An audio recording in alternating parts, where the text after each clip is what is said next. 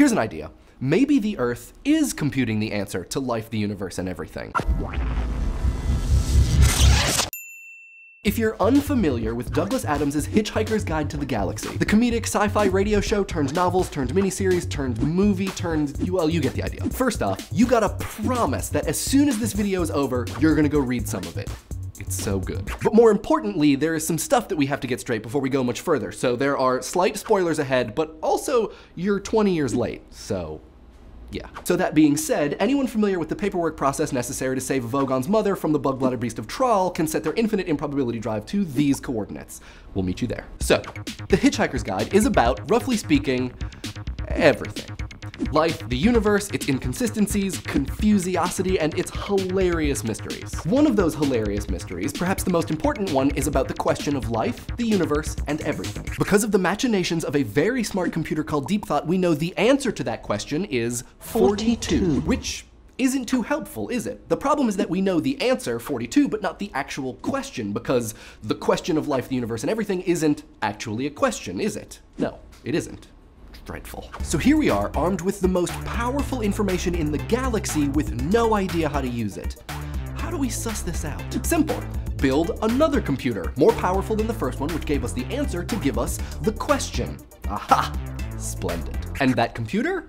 Well, it just happens to be Earth, which in the Hitchhiker's Guide is destroyed to make way for a hyperspace bypass before its final calculations are done, but that's of secondary importance right now. What is of primary concern is what it would mean if Douglas Adams were onto something. What if the Earth and the rest of the universe for that matter were a computer. I mean, I know it sounds batty, but battier things are true. Anglerfish are a thing, and uh, Arrested Development is back. So how might it be that the universe computes? Well, let's start easy. What does a computer do exactly? It operates on information. It engages in processes, mechanical and electrical, that make decisions. Those decisions are based on programs, which at their heart are bits, just little ones and zeros. The output of the program is fed back into the system and the information processing and creation continues. What, by comparison then, is the universe? Well, it's nothing if not information, right? Sure, it's galaxies and stars and planets and dolphins and towels, but all of those things are just made up of atoms, which themselves are made up of particles in different states that describe all of the stuff. Furthermore, the universe is certainly the processes which create and operate on all of that information. Hashtag physics. Now this whole idea really starts to take shape once we get down into the nitty gritty, or itty bitty, as the case may be, emphasis being on bit, bit, t.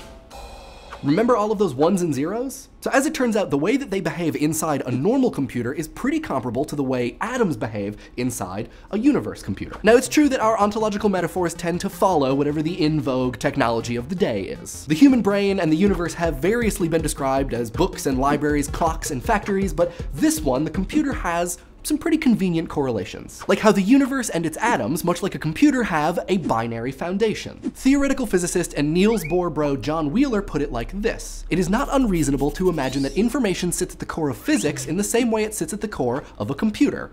It from bit. Otherwise put, every bit, every particle, every field of force, even the space-time continuum itself derives its function, its meaning, its very existence entirely from the apparatus elicited answers to yes or no questions. Binary choices, bits. It from bit has become a kind of mantra in a sometimes controversial line of thinking variously called digital physics, digital philosophy, digital ontology, digital, so on and so forth. These theories hold that nature performs or is the result of calculation, meaning that nature, the earth, maybe even our brains are deterministic. They're programmed. They are the moving parts or the result of a process which is run by a program that has a goal. This idea is huge and we can't give it the time it deserves, so if you want to know more, we'll put a reading list in the doobly-doo. Now, assuming that you're sufficiently convinced of or intrigued by the idea of the universe computer, we can start talking about the interesting stuff like what is it computing? What is the goal of the program? Maybe it is the heat death of the universe. Its goal probably isn't the computation of the ultimate question whose answer is 42, but whatever it is, it involves us, like people. Douglas Adams even described Earth through deep thought as a computer of such infinite and subtle complexity that organic life itself will form part of its operational matrix. So that could mean two things. Maybe that organic life is passive, and the simulation argument is right, and we're all just currently plugged into the matrix and not actually here, and there's nothing you can do about it, so just don't panic. Or it could mean that organic life is active in that calculation, meaning we live in or are a discretized, operationally complex system composed not of matter and energy, but of bits and algorithms. And that life and all of its endeavors, like science, art, getting really good at bocce, Douglas Adams positing that the answer to life, the universe, and everything is 42, are all just a pursuit of whittling down our theories about the way the world works into computable, indisputable truths. The purpose of the program then being to understand the program. Or maybe the universe isn't a computer, or on the backs of an infinite number of turtles, or sneezed out by the great green Arkleseizure. But really just the universe. And of course, if we could figure out how to ask that bowl of petunias why it thought, oh no, not again, before crashing into the surface of oh, Magrathea, we wouldn't be in this predicament at all. If we knew exactly why the bowl of petunias had thought that, we should know a lot more about the universe than we do now. What do you guys think? Is the universe a computer?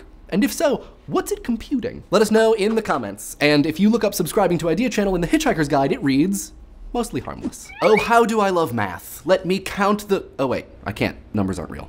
Let's see what you guys had to say about the existence of math. First of all, to all of our international subscribers, thank you for suffering through an entire video where I say math and not maths. That's just how we do it here in America. Um, of course, your way makes a little bit more sense. STH128 and a couple other people point out that math must be an objective part of the universe because it comes from consciousness, which is a part of the universe. But I don't know whether or not consciousness's existence is clearly non-metaphysical. I think it's not, not that cut and dry. Mannequin T points out that they agree with the idea that math is a kind of language that we use to describe the universe and goes one step further to say that it's a kind of uber language because it's shared the world over, which is a very good point. Dave Mantle points out that Brady Haran of Numberphile fame also made some videos approaching these topics. We will put some links to those in the description. They are awesome and you should watch them. Rain Angel Triple One asks whether or not there is another language other than mathematics that we can use to describe the universe. Um, I would point you towards Hartry Field, who published something called Science Without Numbers, which sort of describes itself. Um, I've seen it described as um, not easy or pleasant, but possible, and that's what's important. Mr. Brian Bryanman points out the embodied argument for mathematics, that we have a base 10 system because we have 10 fingers. This actually factors really heavily into the work of Lakoff and Nunez, who were featured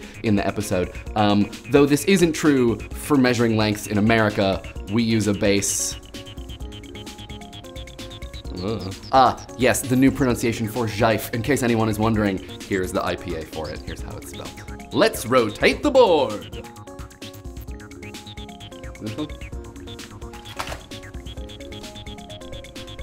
You're welcome. To SMH Jerry, whoa, questions that shouldn't be asked? I think we might just have to agree to disagree on the existence of those. But as far as the relationship between science and philosophy, I will leave you with some words uh, spoken by the great Ray Kurzweil. It is precisely because we cannot resolve issues of consciousness entirely through objective measurement and analysis that a critical role exists for philosophy. This week's episode was brought to you by the noses of these talented folks who were up against the grindstone. Our tweet of the week comes from Cadell Last, who points us towards a Margaret Wertheim piece about the limits of physics. It's a long one, but it's a good one.